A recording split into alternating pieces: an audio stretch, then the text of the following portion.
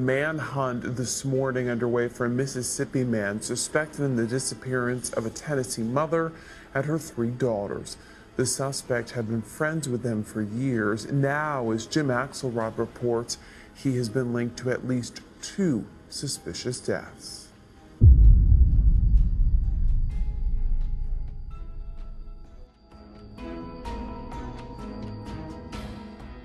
This is the case of the 2012 Bain murder kidnappings. On April 27, 2012, Jo Ann Bain and her eldest daughter were murdered in Whiteville, Tennessee, and the woman's two younger daughters were kidnapped by Adam Christopher Mays, an Alpine, Mississippi man who had known the family for many years. Adam Christopher Mays, born September 2, 1976, was the youngest of six children of Johnny and Mary Frances Mays. His mother described him as violent and controlling from an early age. He and his wife Teresa lived with his parents in a mobile home in Alpine, Mississippi. May's mother-in-law, Josie Tate, stated that she had repeatedly called police to complain about domestic violence committed by Mays against his wife, Teresa. May's sister described him as aggressive and untrustworthy, but never thought he would commit such a serious crime. Mays was friendly with the Bain family of Whiteville, Tennessee, and was a frequent visitor to the house. During the manhunt for Mays, his mother-in-law gave extensive interviews to media outlets and claimed Mays believed that he was the father of the two younger girls. I can't Yes. imagine working my whole life, literally my fingers to the bone, to try to raise my daughter and her getting tangled up with somebody like Adam Mays.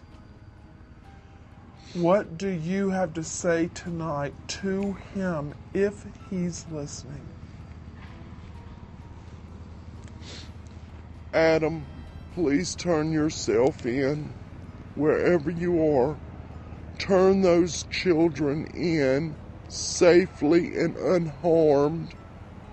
Joan Bain was the mother of three daughters, Adrienne born in 1997, Alexandria born in 1999, and Kyliyah born in 2004. Her first husband, Mark Johnson, the biological father of Adrienne and Alexandria, signed over his legal rights to the girls to Joe and second husband, Gary Bain, in 2011. Gary Bain had previously been married for 20 years to Adam May's eldest sister, Pamela. They divorced in 2002. Mays had stayed friendly with Bain and was a frequent visitor to the home. And before this case, Mays had been under investigation for domestic abuse and was accused of molesting a seven-year-old girl he babysat in 2010.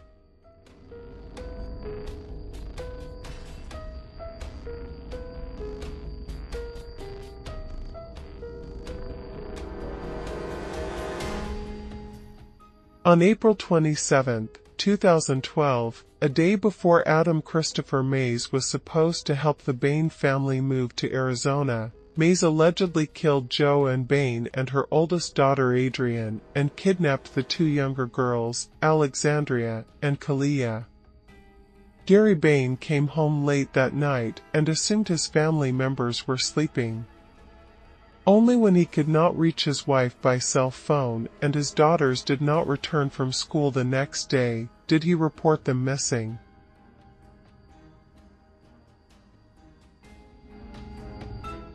On May 9, 2012, Mays was added to the FBI 10 Most Wanted Fugitives, having replaced James Whitey Bulger on the list. The following day, he and the two girls were spotted in a heavily wooded area. During the capture attempt, Mays reportedly shot himself in the head and later died from his wounds. The two girls were rescued unharmed. After days of looking all around the Alpine community for Adam Mays, the search finally hit a bullseye at an area scoped all week near the Zion Hill Baptist Church. Suddenly, authorities say Mays, near Alexandria and Kyliyah Bain, the two girls he kidnapped, made a desperate measure. That's when he took his life and, and the kids were rescued. At approximately 8.17 p.m., uh, the body of Adam Mays was pronounced dead. Union County Sheriff Jimmy Edwards said it was promptness of all law enforcement that led to rescuing the young children. Now, after days on days of tireless efforts by almost 20 agencies, that hard work has paid off. Mays was interviewed by police officers about the Baines disappearance on April 29th. He told police he was the last to see the mother and daughters, but police found no evidence of a crime. On April 30th, Jo Ann Bain's SUV was found abandoned on a country road in Tennessee.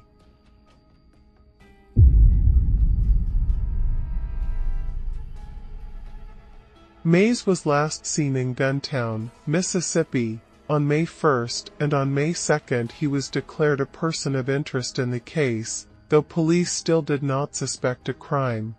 On or around May 4th, Teresa Mays reportedly told police that her husband had killed Jo Ann and Adrienne in the Baines garage and that the bodies were buried behind his mobile home. On May 5, investigators uncovered two badly decomposed bodies from a shallow grave behind the mobile home. They were identified as the bodies of Jo Ann and Adrienne on May 7. Mays and the two girls were missing for over a week when on May 10th, acting on a tip, Mississippi Highway patrolmen and state fish and wildlife officers searched a heavily wooded area behind the Zion Hill Baptist Church, one and a half miles from May's home in Alpine. Officers saw one of the children peeking over a ridge, then spotted the second child, then saw Mays. The officers told him to put his hands up. He raised only one hand and officers saw a gun in the other. Mays then head with a 9mm pistol. The Union County Sheriff said emergency medical technicians transported Mays via ambulance to Baptist Memorial Hospital, New Albany, Mississippi, in critical condition. The county coroner pronounced Mays dead at 8.20 p.m. When police found the trio on May 10th, the girls said that they had been in the forest for three days without food or water. They were dehydrated and had rashes from poison ivy and insect bites. After May's death, the girls were sent to a Memphis hospital, treated, and released. May's body, after being left unclaimed and refused by family members, was donated to the University of Tennessee in Knoxville's Body Farm in June 2012. May's wife Teresa was charged with murder and kidnapping and faced the death penalty. Her mother claimed that Adam had coerced and brainwashed the intellectually challenged Teresa into abetting his crimes. On May 21st, the charges against May's mother, Mary, were changed from four counts of conspiracy to commit especially aggravated kidnapping to two counts of especially aggravated kidnapping. Investigators believe that she confined the two girls after her son and his wife drove them from their Tennessee home to the Mays, Mississippi home. The court ordered a psychological evaluation of both Mary and Teresa Mays and rescheduled their first hearing for June 19. On October 1, 2012, Teresa Mays appeared in a Hardeman County General Sessions Court hearing, while a statement that she had given to the Tennessee Bureau of Investigation during her husband's disappearance in May was read to the court.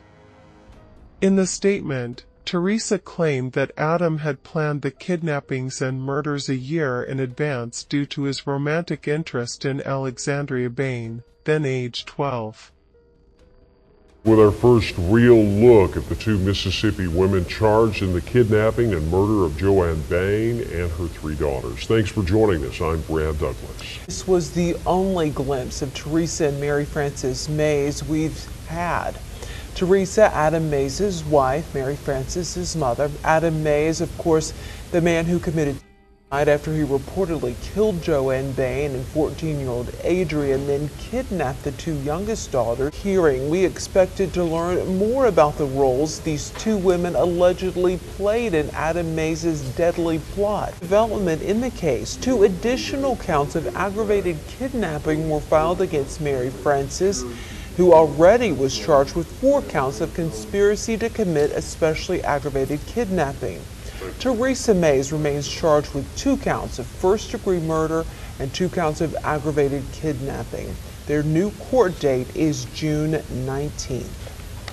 Adam sold his motorcycle to pay for the kidnapping and forced Teresa to remain hidden in their car during two aborted attempts to kidnap Alexandria and her younger sister, Kilala, on April 25 and 26, 2012. On the night of April 26th, she told officials that Adam attempted to kill the girl's father, Gary Bain, by giving him two tequila sunrise cocktails laced with Visine and other prescription drugs. On the night of the murders, Teresa told investigators that Mays told her to drive around with the two younger girls, Alexandra and Kilala. She said that when she returned, her husband was outside the Bain house with two bodies wrapped in a tarp. He later told Teresa that he had entered the Bain house, woke Jo Ann, and told her to come out to the shop by the house because Kilala was sleepwalking. Once in the shop, May said that he hit Jo Ann with a board and strangled her with a rope. Afterward, he smothered Adrienne, age 14. Teresa and her husband drove the two younger girls and the two corpses to Guntown, where Adam buried the bodies in his mother's backyard.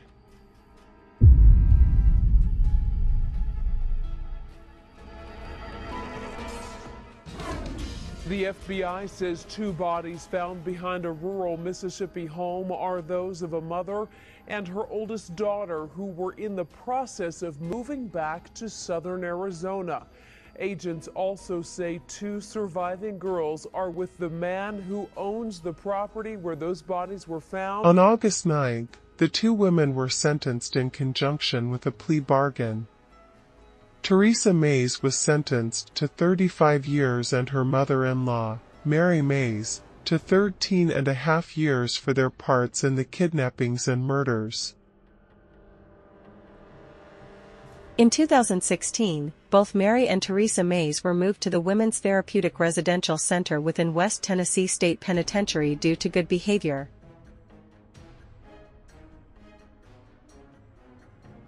How, how are you today? I'm better.